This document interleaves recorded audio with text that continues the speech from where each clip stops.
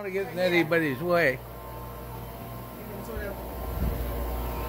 Well, not really way. I'm just more. Just don't wanna.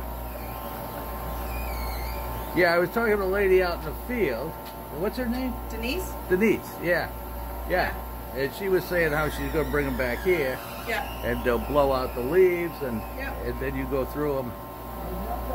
And this is why they're pie ready. Yes.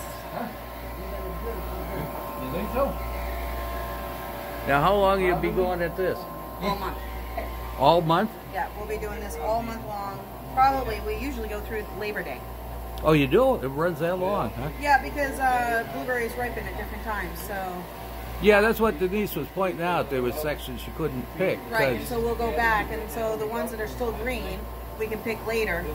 Now, if on a, if this was like a traditional field, you couldn't do that. You'd rake everything at the same time, so you'd wait for everything to be at the peak. But Okay. because we're fresh packing on our own field, we can spot rake. Okay. Okay. Yeah, that's what I thought. You had rows, and you just Yeah. everybody went down a row. Yeah, and, and that's what we do up on what we sell to the processor.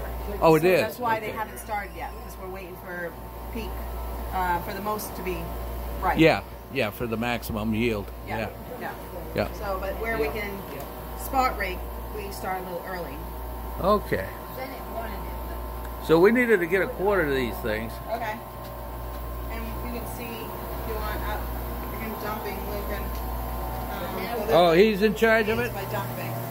Oh, okay.